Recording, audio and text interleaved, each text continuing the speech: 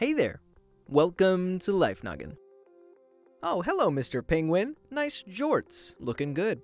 Less than 20 years ago, a German child was born who appeared incredibly muscular. Doctors followed his development and found that at four and a half years old, the size of his quadriceps was over seven standard deviations above the average for his age, and the thickness of his fat was nearly three times below the average, but otherwise, he was completely healthy. His mother and several other family members, including his uncle and grandfather, were reported as being unusually strong, but none to the extent of this boy. Genetic testing showed that he and his mother both had a mutation in a certain gene. The mother with a mutation in one of the two alleles she inherited from her parents, and the boy with a mutation in both. The gene that held the mutation is associated with the production of myostatin. Myostatin is one protein in a larger group of proteins called the transforming growth factor beta superfamily. They are my favorite superhero group. They are responsible for the growth and development of the various tissues in your body. Myostatin is predominantly found in your skeletal muscles, the ones that help you move around. But newer research suggests that it might also play a role in the regulation of heart size.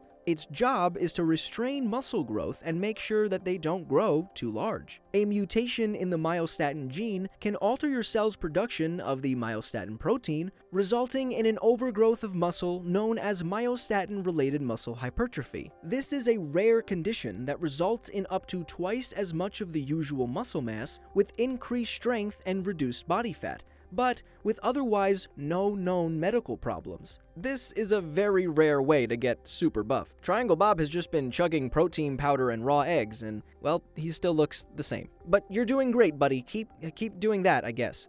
The function of the myostatin gene was discovered by researchers in 1997. They were studying the effects of disrupting or turning off this gene in mice and found that mice with the disrupted gene had skeletal muscles weighing two to three times more than those with intact genes, indicating that the gene's role is to inhibit skeletal muscle growth. While this disease is a rare disease in humans, similar mutations have also been observed in certain breeds of dogs, pigs, sheep, and cattle. In fact, Belgian Blue and Piedmontese cattle breeds, who both contain a mutation in the myostatin gene, are often referred to as double-muscled. They're super strong. And also, if I'm gonna be honest, a little scary. Is that one looking at me? I, I feel like that one's looking at me, right?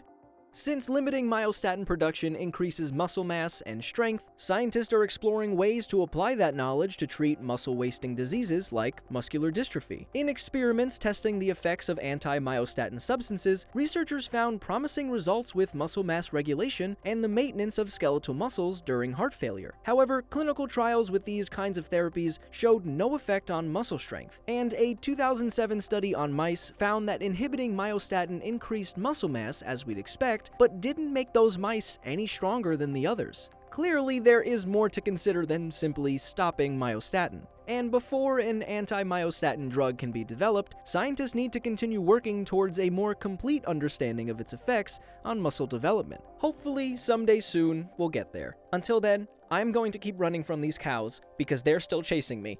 Curious to know more about a rare syndrome that essentially turns you to stone?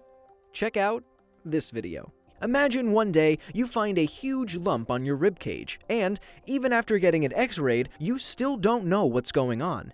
As always, my name is Blocko. This has been Life Noggin. Don't forget to keep on thinking.